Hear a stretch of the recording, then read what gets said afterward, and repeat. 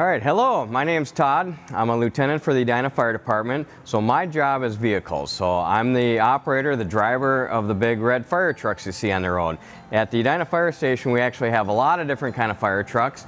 We're gonna take a really good look at the, the engine, but uh, we have ambulances right here. We use to take uh, sick or hurt people to the hospital and take care of them and treat them and when we are taking them to the hospital. So why don't you follow me? As you can see, our fire trucks are red. And that's pretty typical that fire trucks are red because it's a bright color so people can see them on the road really easy. But you'll see some, some fire trucks that are actually yellow. We like red fire trucks here. And each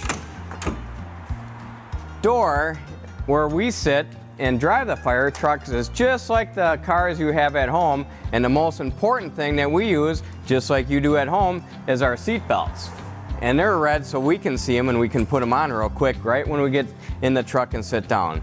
But what's a little bit different than your car at home that your parents might have or your grandma and grandpa is that we have a lot of doors on our truck.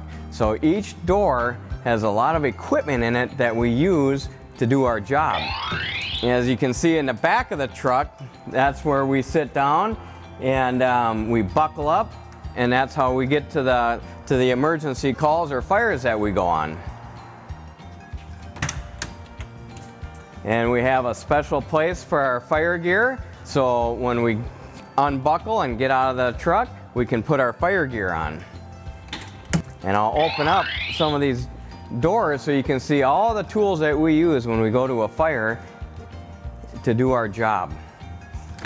So in this compartment, we have our fire axes that we, uh, that we use either to get through walls or to open up holes in the roofs. And these are our breathing apparatus, so it's just like a scuba tank when we go underwater because smoke is really bad to breathe. So that's where our air packs are. And then we got little fire extinguishers that we use there. And in this cabinet, this is our water rescue stuff. So we have throw ropes and bags and life jackets. So if somebody is in the water, we're able to go in the water and, and get them out safely. And in the back here, we have brooms and shovels and cones that we can set onto the road because it's really dangerous to be out on the road, especially at night, so we want people to see us. And then if you come back here to the back of the truck, this is where all of our fire hose uh, comes from on the back of the truck. So we got the tray of all that holes, and then if you look up top here,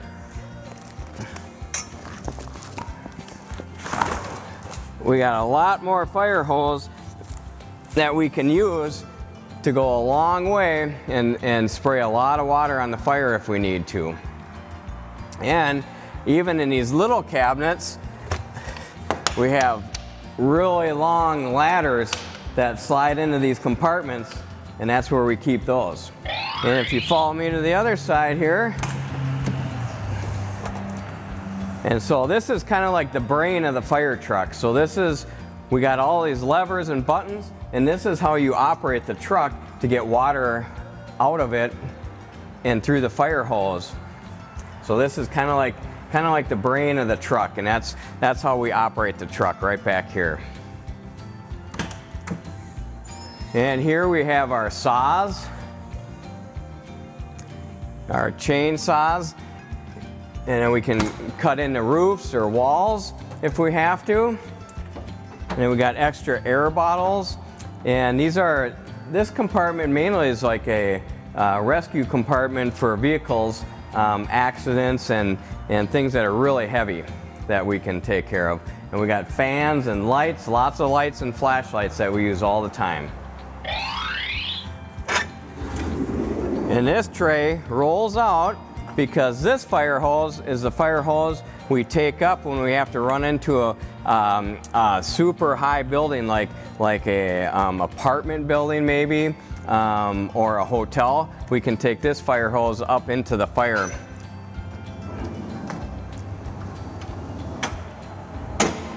And then we're coming right back around, kind of the same thing.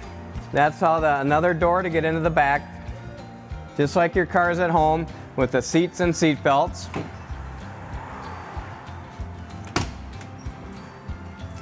And this is where the driver sits. So you can see it's, it's very similar to your cars at home, except there's a lot more buttons, buttons we have to hit for the flashing lights and all that. And if you come up to the front here, this is our last compartment. And we got fire hose, and then these are special, really powerful tools that we can cut apart cars if uh, in a car accident.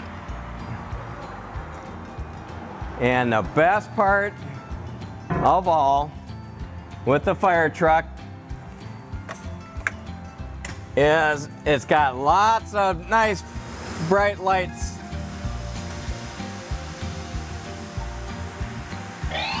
Well, thank you for allowing me to show you our fire truck at the Edina Fire Station.